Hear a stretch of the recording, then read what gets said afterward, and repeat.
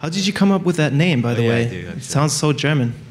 Uh, it's interesting. There is a story. Uh, my my mother. That was the name that my mother originally wanted to name me. Herman. yes. It really sounds like one of the American films when they feature Germans. They're Yeah. either called Hermann or Klaus. Exactly.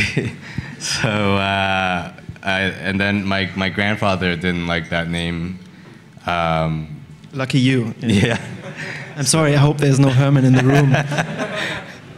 So yeah, Stuart is my name, and uh, since I, I did this project, I thought it would be kind of cool to, you know, since it really was my alter ego, to use it as my alter ego. so you um, you said you you kind of grew up in that uh, movement. That was the, club night that John Yeah, Kong was yeah, doing as well, yeah, right? Yeah, in he Toronto. was part of it as well. and um, you, went home and then thought, oh, this I have to sit down and make my own music. Then Um, yeah, I mean, like even before that, I was, you know, I'd, I get some like cheap like toy Yamaha keyboard, and I'd be kind of fooling around with it, making like kind of cheesy early house beats. uh, and by the time that uh, that movement party was happening, which was I guess early 2000 or something like that, um, you know, like then software was available, um, and I think if I remember correctly the first one I got was actually like a free software from a uh, music magazine. And I started just playing around with that. And actually, my first release came out of that software. Um, but after that, I got Cubase and I started messing around. And I gave some demos to like guys like Kyoto Jazz Massive or uh, Jazzanova. And they really encouraged me and said that, you know, like, it's, it's not bad. Like, you should keep working at it. And I guess uh, I did, and here I am. So how did it work with the first release then? You, it was one of those demos that you gave to um, a DJ or a record label that you liked, and they said, okay. Um, it was. I did it. Um, it was kind of like a, you know, like sort of like a Chicago style inspired house track. And basically, a friend in Toronto was starting a label. I gave him the track, and we said, let's do it, and that was it. And uh, yeah, it got decent feedback, and from that, kind of things rolled on. And you have uh, some of the tunes that are, before we get into your production techniques, Yeah. uh, maybe a, a tune or so that we can listen to from the early days. I guess uh, the first sort of major label for me that uh, I released on was Versatile, Versatile out of uh, France. It's a label uh, that Chateau Flight and I:Cube and people like that are releasing, or actually they run the label. Yeah, so this is very early stuff.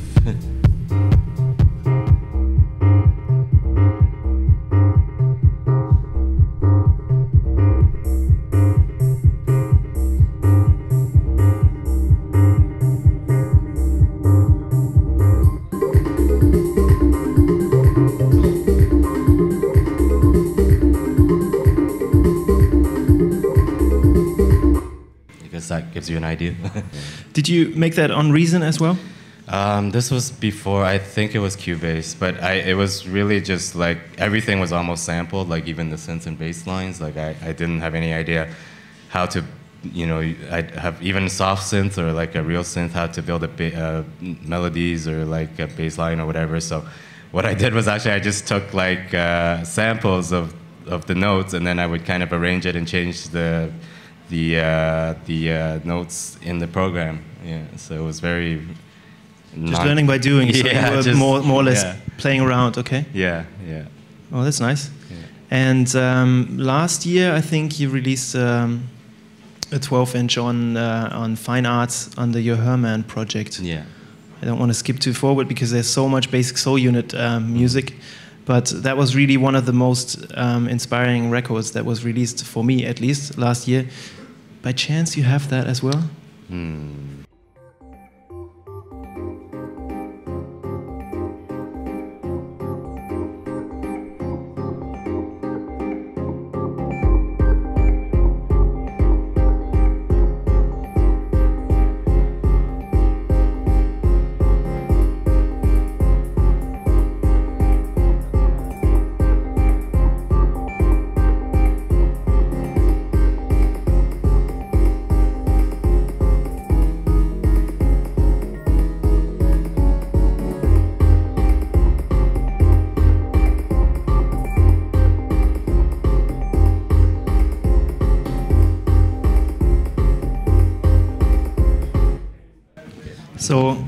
I really like this, and Oops. oops. And not only because this night is called CDR, we also encourage people to buy a vinyl, and this was released on a beautiful 10 inch. Um, it's just the name stands for Create, Develop, and Release, not necessarily the media. But that's just on a side note. So that's a project that goes more into the dubstep direction. Um, I mean, I guess not literally dubstep, but uh, like, a, and definitely a little bit influenced by that. But uh, even maybe even uh, more of an amalgamation of all of my influences, like going from broken beat to like house to techno to some of the jazzier stuff and dubstep, kind of all rolled in one. So talking about production, shall we get into Reason? Sure. Sure. Yeah. Okay, I think we just need the connection to your Oh, yeah. your laptop. Okay, so I don't know if anybody uh, actually had experience with Reason before. Uh, there's basically three windows you see. The top is kind of like the mixer for each channel. Uh, the middle is like a virtual rack. Um, and that's the way Reason works. Is it's kind of like a virtual rack. So you, it's almost like you're using different uh, units and synths and stuff, uh, and you just place it onto this virtual rack. And you can actually, if I open it up, and hit tab, you can actually manually uh, rewire everything to your own liking, or obviously you can just uh, do it, uh, it'll do it automatically as well. And the bottom is kind of like the arrangement. Um, so I'll just play this. This is something that's unfinished that I just actually started a couple days ago, and uh, we'll see how it goes.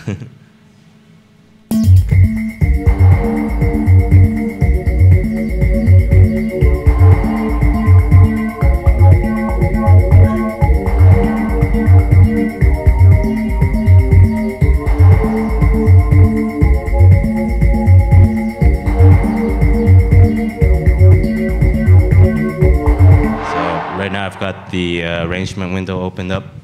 So you, it's basically um, a little bit like when you look at Logic as well, that you have all your different tracks Yeah, very- underneath each other, and Very um, similar in that way.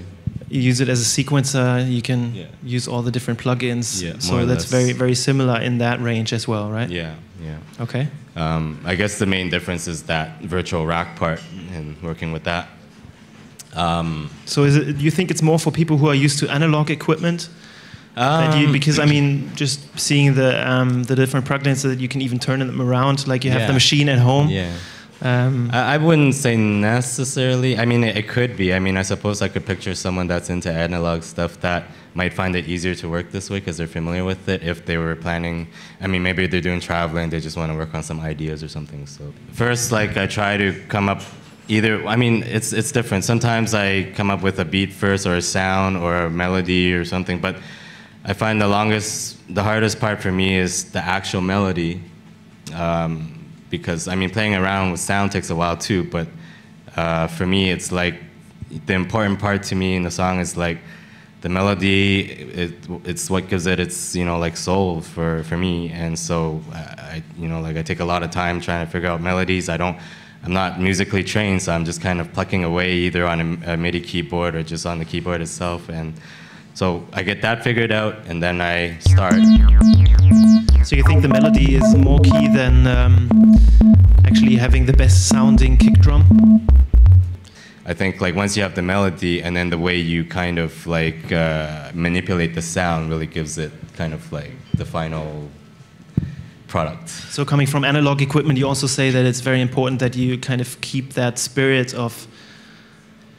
You just said that uh, the plugins usually make it really easy for a producer to work, but the sound is sometimes not the best. Yeah, yeah. So I mean like, um, so then for reason like example you can see here you have the subtractor synthesizer and then you have this which is like a distortion unit, um, and then if I scroll down the side here, you can see that, uh, well, these are like all the different sort of synths and drum machines that are in Reason.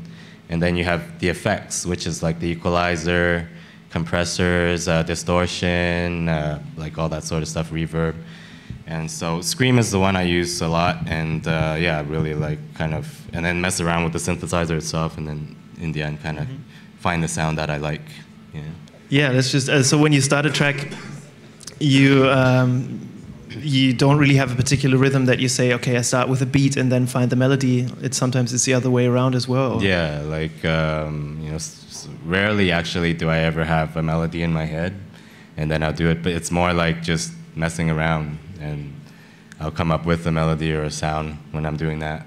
Yeah. So it can also happen that you're lying in bed at night and you have the ultimate melody in your head, and then you just yeah. have to start your yeah. gear. The the most creative hours are somewhere between like 12 to 3 a.m. okay.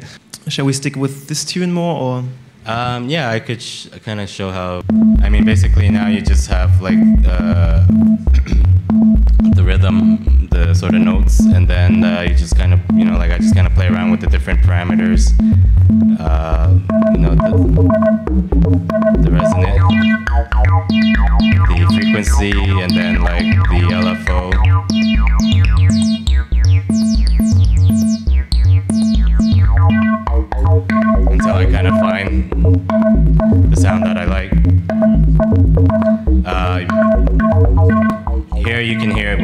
Distortion.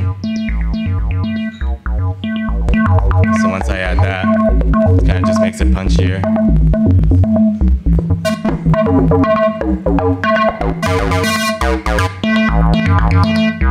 So there's, you know, like different types of distortion. So now, um, they have a couple of drum machines in uh, or uh, drum units sort of in Reason, but sometimes I kind of like to just mess around with the synthesizers to make the kick drum because I'm, then I'm not using preset samples to do it, and you can kind of you know just make the sound that you like. Yeah, just kind of starting with a sound and then just kind of keep tweaking it till I find the one I like, and, and then after that uh, just sort of do the arrangement. Yeah. How many percent would you say you give out as demos of the tunes that you are actually working on? Probably like 10%. 10%, really? Yeah. I mean, well, you see all these, they're basically probably just like a couple bars. I'm just, you know, like jotting down ideas. Um, and then the ones that I really like, I'll just bring it further. So out of, mm -hmm. out of these, yeah, probably only like 10%.